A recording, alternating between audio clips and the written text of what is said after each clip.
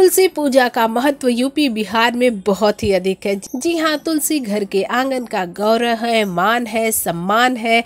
और आपको बता दें कि तुलसी माता के लिए सभी, चाहे वो आम हो, खास हो, एकादशी के, कार्तिक की एकादशी को उनका विवाह ज़रूर करते हैं। और हमारे भोजपुरिया स्टार्स भी इसमें पीछे नहीं है।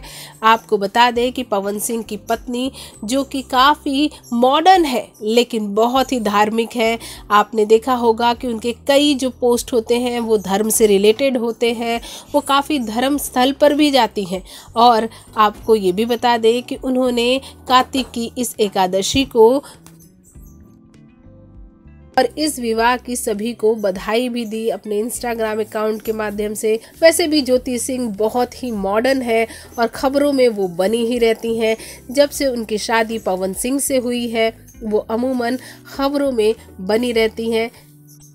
चाहे वो कुछ भी करे, वैसे भी इंस्टाग्राम अकाउंट पर चाहे फेसबुक पर उनके फॉलोवर पवन सिंह से भी ज़्यादा हैं। आपको जानकर ये भी हैरानी होगी कि उनके फॉलोवर पवन सिंह से भी ज़्यादा हैं।